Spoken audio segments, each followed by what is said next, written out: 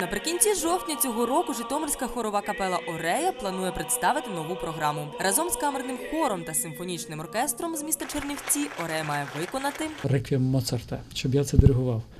А перший відділ така ідея з'явилася, щоб ми співали твори закордонної музики, які в нас ніхто не знає, але щоб це можна було виконувати двома хорами, щоб вони були занадто складні, щоб там були раз- різні епохи, стилі.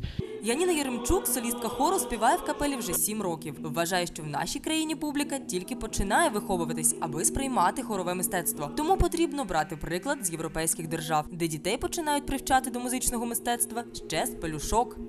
Наш Олександр Олександрович він і так е, взаємозв'язаний з Європою тісно. Але якщо ми ще будемо там, в ній, в Європі, е, в Євросоюзі саме, Тому це для, для, для нас буде ще швидше е, адаптуватися, ця атмосфера музична.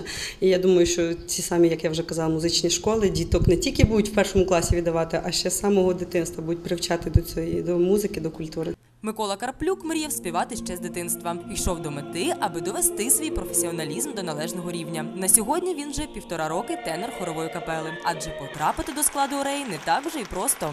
Олександр Олександрович, в нього є таке почуття, яке тільки є у нього, якби цей смак.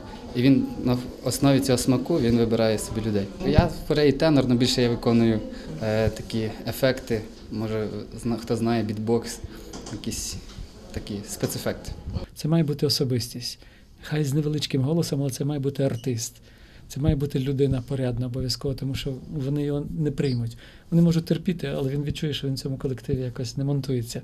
Це має бути людина щира, християнин, або хоча б, якщо не віруючи, то хоча б добра за своїми порядна по своїм якостям. Одним з головних принципів роботи з людьми було і залишається порядність. Сьогодні нелегкі часи для України, але навіть люди мистецтва, окрім своїх прямих обов'язків, з готовністю захищатимуть державу, каже керівник Житомирської хорової капели Орея Олександр Вацик. Робити свою справу, якщо треба, і ми ті, кому за 50, візьмемо, візьмемо те, що треба, і будемо боронити нашу країну, нашу цілісність. Тобто не здаваємося, робимо свою справу, шануємо нові закони, нову владу, тому що це дано від Бога. І треба стати на це і триматись.